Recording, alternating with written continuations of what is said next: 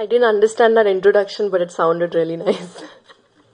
um, I wish I wish I could speak Tamil like them because um, I'm still learning, but I'm able to understand. And uh, hopefully by the next uh, press meet, I'll be able to speak to you in Tamil. Um, first of all, ellarkum vanakkam. Thank you all for coming here today. Press, media, andarum. Um,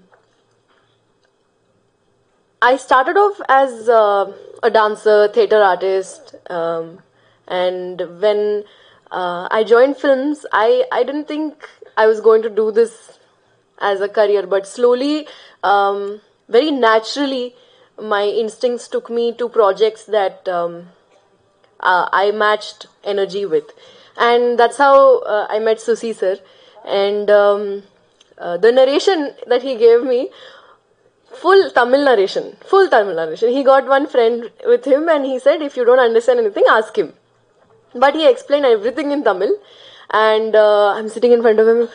And there was a point where uh, he started giving background music while giving narration.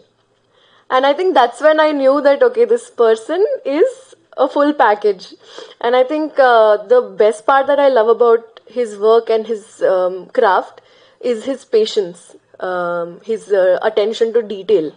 And that is something that is artistically very high for me. Uh, it's, it's something very beautiful.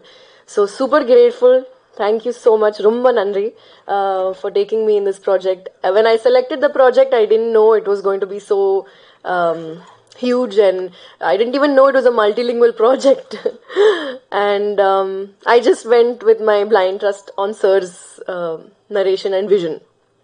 And then I met Vijay Antony sir, and uh, I realized what a humble crew and cast it's going to be. Um, because I feel a director and the cast represents what the film is going to talk about and what is going to be like. So thank you so much for being such a um, brilliant co-actor. We haven't even shot for maybe 15 20 days but i already know that this is going to be a journey that i will not forget. Um, and thank you to everyone present over here. Uh, you guys are beautiful humans. Um, i am super grateful to be working with you all and uh, very excited for the shoot that's about to happen. Thank you so much.